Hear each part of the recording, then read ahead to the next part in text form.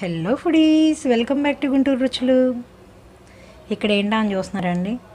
మీరు న్యూ ఇయర్కి చేసుకున్నా క్రిస్మస్కి చేసుకున్నా ఎవరైనా బర్త్డేస్ ఇంట్లో ఎవరైనా బర్త్డే సెలబ్రేషన్స్ ఉన్నప్పుడు చేసుకోవడానికైనా వీలుగా కేక్ అండి. చాలా సాఫ్ట్గా ఉంది.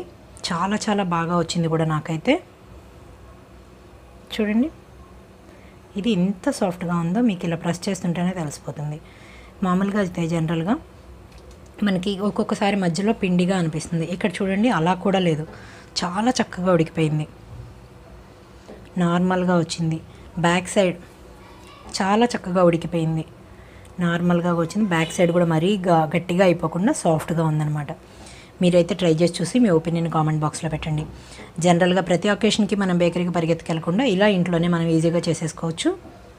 ఇక్కడ న్యూ ఇయర్ కోసం చేసుకున్న కేక్ కాబట్టి ఇలా ప్రిపేర్ చేసుకున్నాను నేను. ఇంకా నేను క్రీమ్తో వాటితో ఏం డెకరేట్ చేయట్లేదండి. మీకు కానీ నచ్చినట్లయితే మీరు కూడా ట్రై చేసి మీకు నచ్చినట్లయితే మీకు కూడా చాలా ఎలా వస్తుందో అనేది మీరు ట్రై చేసి చూడండి. మీకు ఎలా వస్తుంది అనేది మాకు కామెంట్ బాక్స్లో చెప్పండి. వీడియోలోకి వెళ్దామా? ఇక్కడ ముందుగా నేను నాలుగు కోడిగుడ్లు పగలగొట్టుకుంటున్నానండి.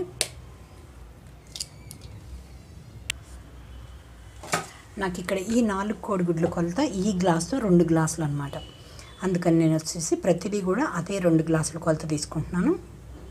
ఇప్పుడు ఇక్కడ పచ్చసొన తెల్లసొన మొత్తం కలిసిపోయేలాగా బాగా బీట్ చేసుకోవాలి వీటిని. బీటర్తో అయినా పర్వాలేదు మీరు మిక్సీలో వేసినా పర్వాలేదు. బాగా నొరగొచ్చేలాగా చేసుకుంటే అప్పుడు మనకి కేక్ వచ్చేసి స్పాంజీగా ఉంటుందండి. ఇక్కడ మజ్జి మజ్జిగ చేసినట్లుగా చేస్తే తొందరగా నొరగొచ్చేస్తుంది బాగా బల్ కలిసిపోతుంది అనమాట చూడండి ఇలా. ఇప్పుడు ఇందులోకి నేను షుగర్ ఆల్రెడీ పౌడరే చేసి పెట్టుకున్నాను కాబట్టి షుగర్ ఎక్కువసేపు ఏమి ఉండదు మనకి కలవడానికి. మైదా పిండి. మైదా పిండి ఈ గ్లాస్తోనే రెండు గ్లాసులు వేస్తున్నాను. ఇక్కడ మైదా పిండి అయిపోయిన తర్వాత షుగర్ పౌడర్. షుగర్ పౌడర్ కూడా మిక్సీ వేసుకున్నది ఇలాగే రెండు గ్లాసులు. షుగర్ రెండు గ్లాసులని నేను మిక్సీ వేసానండి. అదే రెండు గ్లాసులు ఇందులోకి వేసేస్తున్నాను. చూడండి. ఇంకొంచమే ఉంది ఇక్కడ. నెయ్యి. నెయ్యి కానీ డాల్డా కానీ వేసుకోవచ్చండి మీరు. వన్ అండ్ హాఫ్ గ్లాస్ అయితే సరిపోతుంది. ఇదే కొలతతోటి వేస్తున్నాను. ఇదే గ్లాస్తో.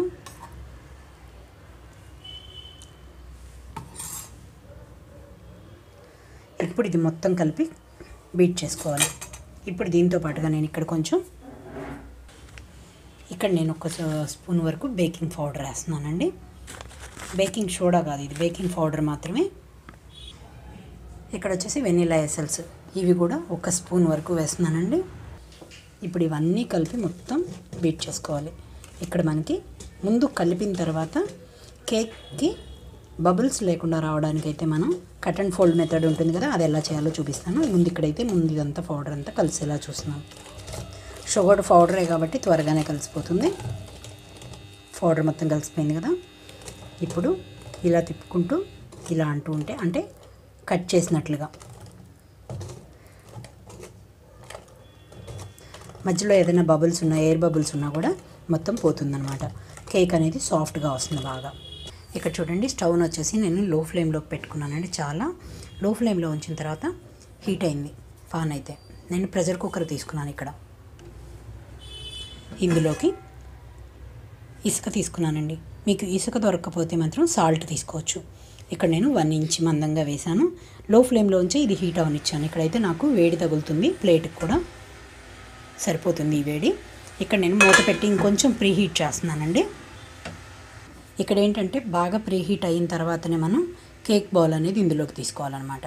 ఇక్కడ నేను ప్రెషర్ కుక్కర్ తీసుకున్నాను పాన్ లాంటిది. లేదా మీకు వెడల్పాటి గిన్నె ఏదైనా మందపాటి గిన్నె ఉంటే అదైనా తీసుకోవచ్చు అనమాట ఈ హీట్ అయ్యే లోపల ఇది ఇంకొంచెం సేపు బీట్ చేసుకుంటున్నాను. ఇలా చేయటం వలన మనకి బబుల్స్ అనేది ఏమీ ఉండకుండా ఉంటుందండి. ఇక్కడ ఇంకా సరిపోతుందండి. ఇక్కడైతే నేను బౌల్ వచ్చేసి రౌండ్గా ఉన్నది తీసుకుంటున్నాను. దీనికి ముందు ఇక్కడంతా కూడా కొంచెం లైట్గా మనం నెయ్యి కానీ ఆయిల్ కానీ అప్లై చేయాలి. ఇక్కడ నేను చుట్టూ కూడా కొద్దిగా నెయ్యి రాస్తున్నాను. అతుక్కోకుండా ఉండడానికి. మీకు బటర్ పేపర్ లాంటిది ఏదైనా అవైలబుల్లో ఉంటే బటర్ పేపర్ని ఇందులో వేసేసుకోవచ్చు. ఇప్పుడు ఇందులోకి నేను తయారు చేసి పెట్టుకున్న ఈ మిశ్రమాన్ని ఇందులోకి వేస్తున్నాను. హాఫ్ వరకే వేస్తున్నానండి ఎందుకంటే పొంగుతుంది కదా. మిగిలిన మిశ్రమం ఏదైనా ఉంటే మీకు తర్వాత యాడ్ చేసుకోవచ్చు మీరు. ఇదేంటంటే మొత్తం ఇలా ప్రెస్ కొంచెం కిందకి ప్రెస్ చేస్తూ ఉంటే ఈవెన్గా సమానంగా వస్తుంది ఇక్కడ. ఇలాగే తీసుకెళ్ళిపోయి ప్రెషర్ కుక్కర్లో వేడి చేశాను కదా అందులో పెట్టేస్తున్నాను. హీట్ అయిందండి. ఇక్కడ వచ్చేసి ఈ బౌల్ని ఇలా ఇసుక మీద పెట్టేస్తున్నాను. ప్రెస్ చేయాల్సిన అవసరం అయితే లేదు. ఎందుకంటే ఆ హీట్తో మనకి ఈవెన్గా కూడా కేక్ అనేది మనకి చక్కగా ఉడికిపోతుంది. ఇప్పుడు మళ్ళీ నేను ఇక్కడ ఈ మూతని ఇలా పెట్టేస్తున్నాను. కుక్కర్ మూత అయితే పెట్టట్లేదండి. మామూలు మూతనే పెడుతున్నాను నేను ఇక్కడ. ముందుగా ఇక్కడ నేను మూత పెట్టిన తర్వాత ఒక ఫిఫ్టీన్ టు ట్వంటీ మినిట్స్ పాటు లో ఫ్లేమ్లో స్టవ్ టర్న్ చేసుకొని ఇలా ఉంచేస్తున్నాను. ఈ మూత నేను ఎటువైపు నుంచి ఆవిరి రాకుండా ఉండే మూత పెట్టానండి. దీని మీద ఏదైనా బరువు పెడుతున్నాను ఇప్పుడు. నేను ఇక్కడ పచ్చడి బండ్ లాంటివి ఇక్కడ బరువు పెడుతున్నాను. మీరు ఓవెన్ ఉంటే ఓవెన్లో అయినా పెట్టేసుకోవచ్చు అండి ఇక్కడ చూడండి పదిహేను నిమిషాలు అయిపోయింది. మూత తీసి చూస్తున్నాను. ఇక్కడ మనకి ఇంకా మధ్యలో పచ్చిగా తెలుస్తుంది కాబట్టి ఇంకొక పది నిమిషాల పాటు ఇలాగే ఉంచేస్తున్నానండి. మొత్తం మనకి ఇలాగా డ్రైగా రావాలన్నమాట కంప్లీట్గా. అందుకని ఇంకొక పది నిమిషాల పాటు లో ఫ్లేమ్లో కదులుతుంది. కదిలిస్తుంటే చూడండి కొంచెం కదులుతుంది. సో ఇంకొక పది నిమిషాల పాటు లో ఫ్లేమ్లో ఉంచేస్తున్నాను.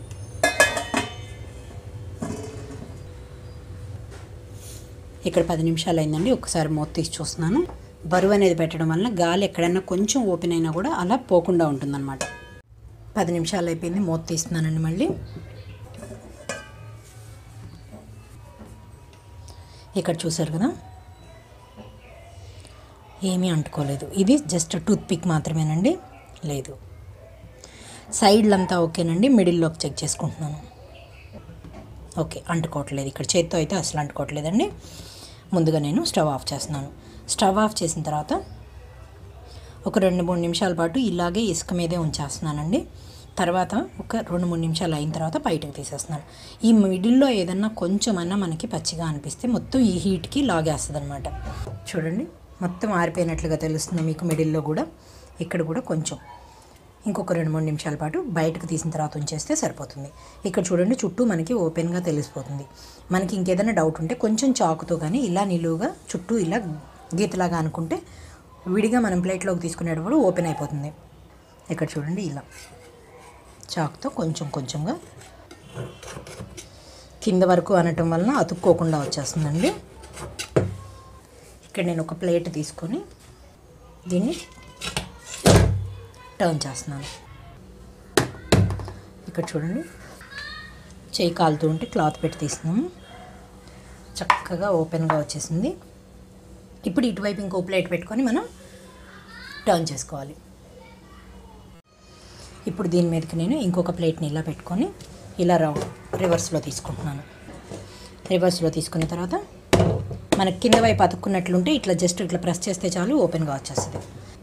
ఇక్కడ మనం కేక్ ఏ డెకరేషన్ చేసుకోవాలన్నా కూడా చేసుకోవచ్చు. క్రీమ్ వేసేసుకొని న్యూ ఇయర్ అని క్రిస్మస్ అని మనకు కావాల్సినట్లుగా రాసుకోవచ్చు. చూడండి చక్కగా స్పాంజీగా ఉంది. నేను కట్ చేస్తే. ఇప్పుడు కట్ చేస్తున్నాను కదా. మనకు కావాల్సినట్లుగా తీసుకోవచ్చు ఇక్కడ ముక్కల్ని కూడా. చూడండి చక్కగా వచ్చింది. అంతేకాదు మనకి స్పాంజ్ లాగా కూడా ఉంది. చూడండి ఇంక ఇప్పుడు. కేక్ రెడీ అయిపోయింది. మీరు కూడా ట్రై చేసి చూడండి.